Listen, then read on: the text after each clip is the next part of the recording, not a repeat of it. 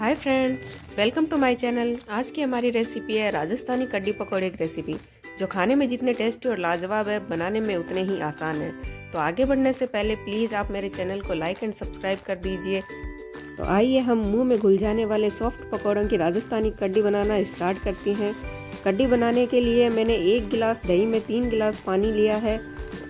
और उसे मिक्सी में घुमा लिया है। अगर दही खट्टी है तो आप तीन गुना पानी ले लीजिए। अगर कम खट्टी है तो आप डबल पानी ले लीजिए। एक बाउल में मैंने एक चम्मच क्रीम ले ली है। ये फ्रेश दूध से निकाली हुई क्रीम है और मैंने तीन चम्मच बेसन ले लिया है। अब इसको हम कड्डी के लिए गोल तैयार करेंगे। इसमें थोड़ा थोड़ा करके हमने जो दही तैयार की है वो डालेंगे जिससे कि लम्स ना बने।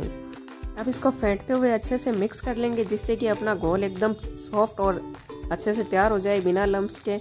आपने देखा कि मैंने घोल में एक चम्मच क्रीम ली है। क्रीम लेने से कड्डी का टेस्ट डबल हो जाता है।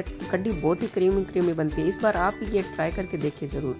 आपकी कड्डी बहुत ही लाजवाब बनेगी। ये अपना घोल तैयार हो गया है। अब इसको जो दही ली है हमने, उसमें मिक्स कर लेंगे और मथनी की हेल्प से इसको मथ लेंगे।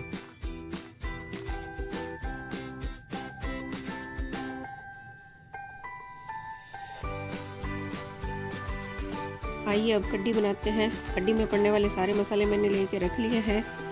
मैंने चार चम्मच तेल लिया। आधा चम्मच जीरा डालेंगे। आधा चम्मच राई। आधा चम्मच अजवाइन। आधा चम्मच मैंने धनिया क्रश करके डाला है। और आठ से दस मैंने कड्डी पत्ते डाले हैं इसमें। बिना कड्डी पत्तों का तो कड्डी का टेस्ट ही नहीं है।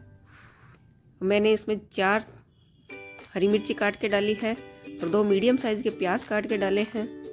आप चाहो तो पालक की, बथुए की, फली की या सांगरी की भी कड्डी बना सकते हो। मैंने हरी मिर्ची और प्याज की बनाई है। आप अपने टेस्ट के अकॉर्डिंग बना सकते हो।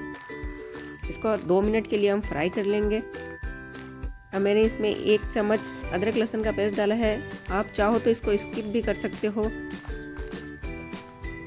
अदरक लहसुन को भी फ्राई कर लेंगे थोड़ी देर ताकि इसकी कच्ची स्मेल ना आए। आधी चम्मच मैंने हल्दी डाली है। आधा चम्मच मैंने लाल मिर्च डाली है और एक चम्मच मैंने धनिया पाउडर डाला है।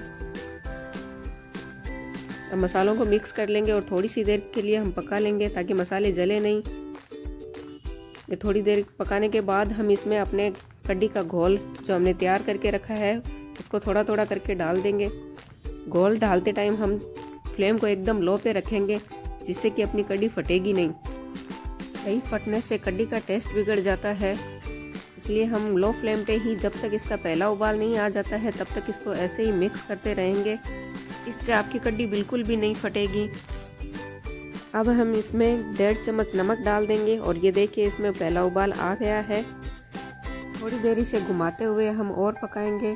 क्योंकि कड़ी जितनी ज़्यादा पकेगी, उतनी ही ज़्यादा टेस्टी बनती है। हम तो इसे लो फ्लेम पे आधे घंटे के लिए पकने के लिए छोड़ देंगे।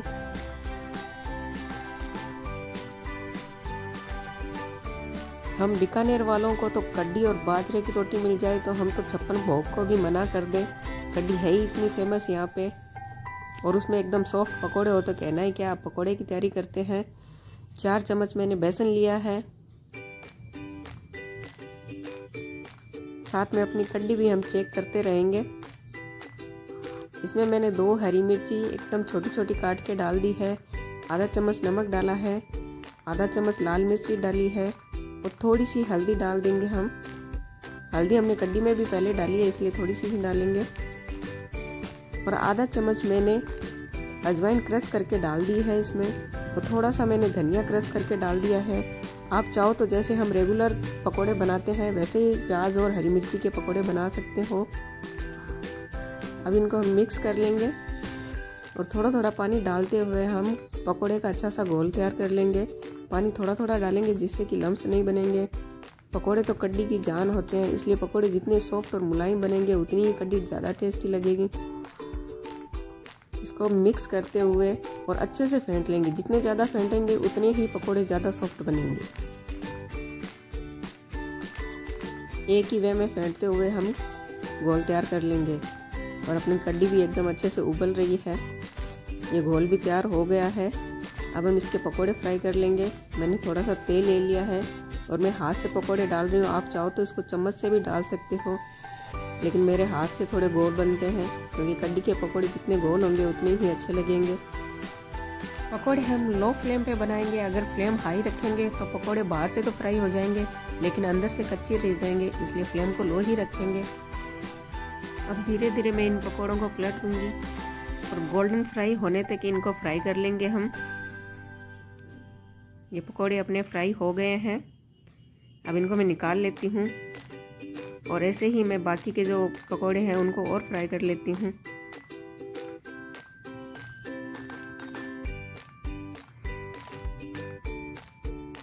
अपने सारे पकोड़े फ्राई हो गए हैं।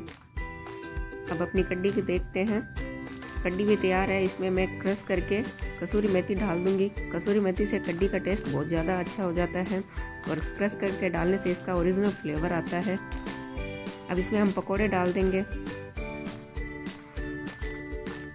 पकोड़े डाल के थोड़ा सा मिक्स करके 10 से 15 मिनट के लिए हम इसको ढक के रख देंगे, जिससे कि कड्डी पकौड़ों के अंदर तक चली जाए और पकौड़े एकदम सॉफ्ट और मुलायम होए।